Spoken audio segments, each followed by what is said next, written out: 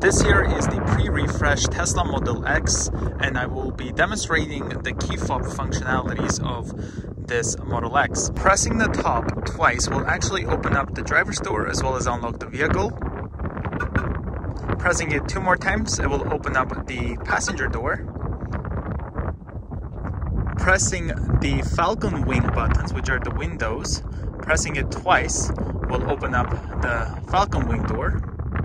Pressing it twice on the other side will open up the driver's side one. Pressing twice here at the back, it will open up the tailgate. Pressing once will stop it. Press twice again to lower it. Again, one press is just to stop it. Two press will put it rest the way up. The wind did end up closing the driver's side door partially. Pressing twice here at the front will actually open up the frunk. You have to go and open the rest yourself, which will give you quite a bit of storage space, as you can see. Now to close it, all you have to do is press once on top of the key fob.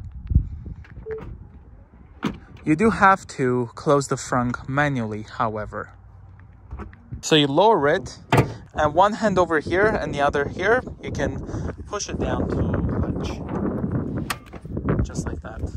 Holding the back of the key fob, it will actually open up the charge port, just like that. The only way you can close it is by, even one press doesn't, you just do it like that, or you wait for it to close itself. Having the key fob in my pocket, I can walk to the Model X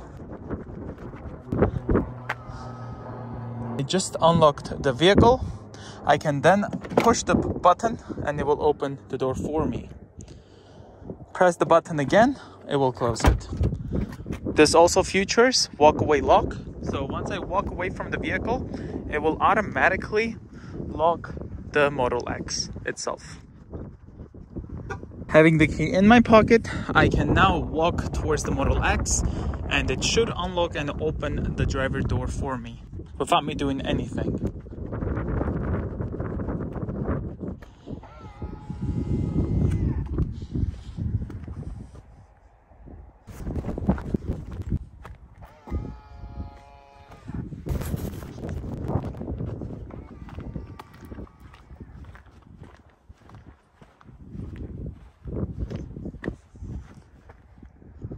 For some reason, it's not doing that. And the setting is on. This X does have the summon features. If I hold the top of the key fob for like three seconds, the lights turn on. So does the hazards. Pressing once on the top will cancel it. If the vehicle is unlocked, if you hold the top, it will actually turn on and fold the mirrors as well.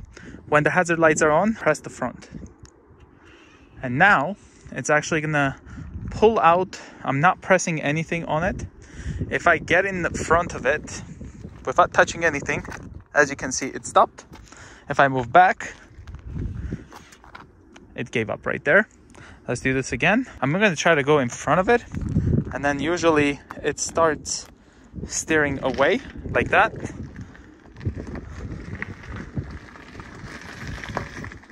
As you can see. I'm not doing anything.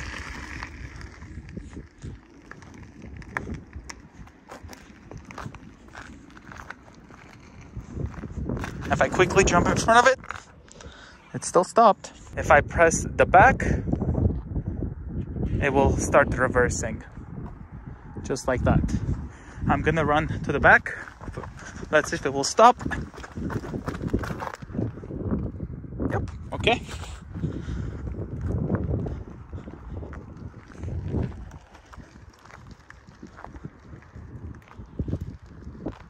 I can then press once and then it should stop just like that. Press the back again.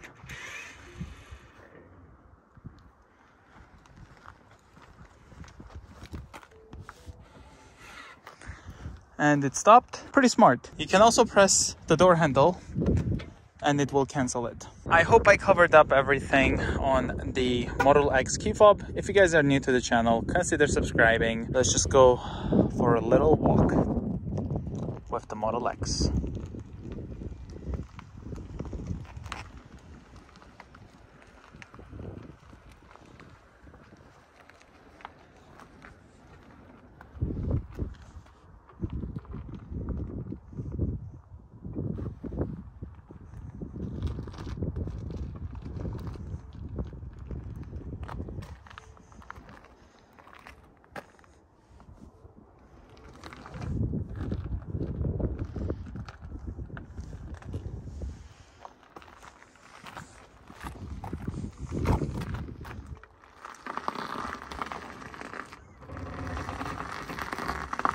see you guys next time.